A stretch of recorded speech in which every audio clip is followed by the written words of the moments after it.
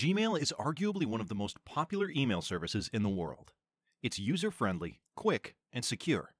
Unfortunately, it doesn't have backup functionality to prevent data loss due to human error or a ransomware attack. Gmail users have two options acquire a third party backup tool, or export Mbox from Gmail. The issue with the second option is that Gmail doesn't have the functionality to import the Mbox. Luckily, there's a roundabout way.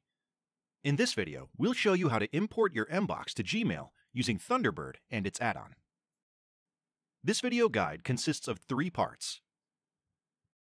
Mbox export from Gmail.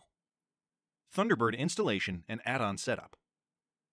Mbox import to Gmail using Thunderbird. Let's begin. How to export Mbox from Gmail. Open the google.com page and perform a login to your account if necessary. Click on your avatar in the right side corner of the page. In the drop-down menu, click on Manage your Google account. You will be redirected to the page where you can manage your account. You can get to this page directly. Its address is myaccount.google.com. In the left side menu, click on Data and Privacy. You will get to the Data and Privacy section. Scroll down until you see the Download or Delete box. Click on Download your data. You will get to the Google Takeout page. Once again, you can get directly to this page. Its address is takeout.google.com. Here, you can create a new export. You can see the latest export that's been done. If you haven't exported anything from Google in the past seven days, this functionality won't appear. By default, Takeout selects all the Google services and apps that you have. If you don't want to download their data, click Deselect All. Scroll down to find Mail. To speed up the process, use an on-page search. Check the box next to Mail. Now there are two buttons in this section, Multiple Formats and All Mail Data Included. If you click on the first button, you'll see the file formats of your export, Mbox for Gmail, and JSON for user setting. By clicking All Mail Data Included, you will open a pop-up window with mail continent options. It enables you to choose the types of messages you want to export. By default, it is set to include all messages in mail. If you want to download only certain types of Gmail data, uncheck the box Include all messages in Gmail and proceed to check the boxes that you need. Then click OK. In this video, we select to export all the messages. Now that you've configured the messages, scroll down and click Next Step. It will unfold the export settings. If you need to return to the previous step, just click Select Data to include, and it will unfold the previous configurations. For example, you decided to change the types of data that you want to include in your export.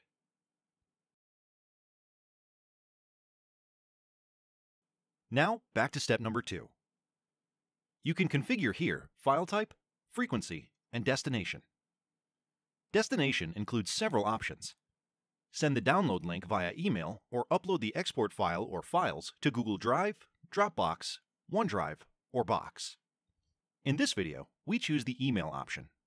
Next, you can select the frequency of export. There are two options, one-time export or six scheduled exports during the following 12 months. Now, choose the file type compression, zip or TGZ. Last, you can set the compressed file size. There are several options from 1 GB to 50 GB. Keep in mind that zip files larger than 2 GB will be compressed in ZIP64 format. Once you've completed the configurations of your export, click Create Export. Google will start exporting your Gmail data immediately.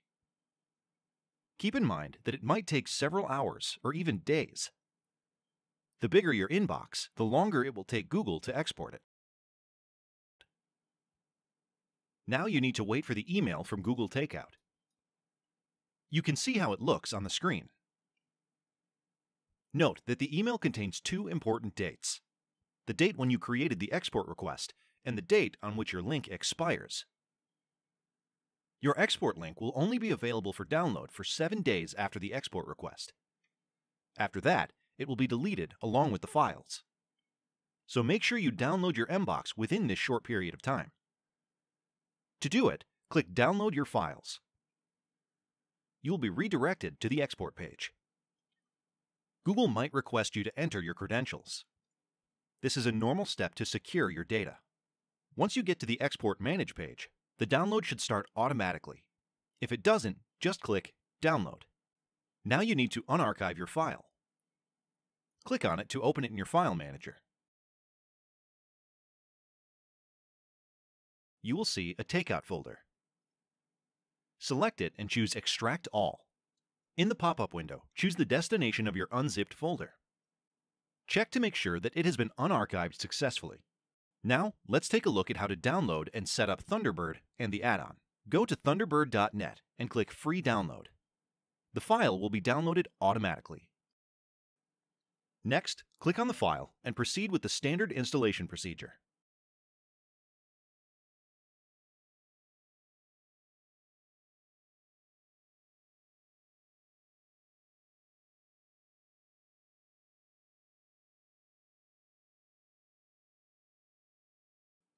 Once it's complete, open Thunderbird to set up mail. Enter your name, the email address from which you imported your Mbox, and the email password. Click Continue. You will get to the second step of setup. Choose IMAP configuration and click Done. Next, a pop-up window will appear. You will have to enter your email credentials one more time. It's a standard Google procedure. You will receive a request for access to your Google account, Gmail, Contacts, and Calendar from Mozilla Thunderbird. Click Allow to finalize. The setup is completed. Next is the add-on setup. Note that Thunderbird likens a browser. It has multiple tabs. Go to the Inbox tab. In the top right corner, you will see a menu burger icon, three horizontal lines. Click on it. In the drop-down menu, click on Add-ons and Themes. Thunderbird will open the Add-ons tab. In the top, there's a search bar. Type in Import. It's the easiest way to find the add-on you need. Usually, when add-ons are sorted by relevance, Import Export Tools NG will be the first in the add-on list. Click on the green button next to it. Then confirm your choice in the pop-up window. The program will report the successful operation in the same pop-up. Now you need to return to the Inbox tab. Note that you still cannot import Mbox directly to your Gmail inbox. Once again, you can't export your Mbox directly to Gmail. So if you click on the Inbox folder and choose Import via the Import Export Tools NG, it will not complete the import. Instead, it will report a mistake. However, there's a roundabout way. Right-click on the local folders in the left side panel. Choose Import Export Tools NG in the context menu. Then choose Import Mbox File. A pop-up window will appear. Choose the Import option. We prefer this one. Select a directory we're searching the Mbox file to import, also in subdirectories. Click OK. In the pop-up window, go to the folder where your unarchived Mbox folder is, and click Select Folder. Confirm your choice. Thunderbird will create a new folder in your local folders. Keep in mind that this folder will contain all your emails mixed together. Sent, received, trashed, etc. It won't have any directories. Usually, this folder has a very long name describing your export settings. Right-click on it to rename it if you want.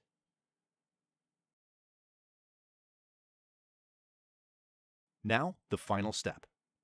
Click on your Mbox folder. Next, drag and drop it into your Gmail folder. Now this folder will be uploaded to your Gmail. Keep in mind that it will take some time for it to fully upload. Let's check Gmail's inbox in the cloud. As you can see, our inbox folder is in the labels. Once again, a reminder that all your emails, sent, received, trashed, and spam, will be in this folder unsorted. Thanks for watching this guide. We hope it helped you import your inbox to Gmail.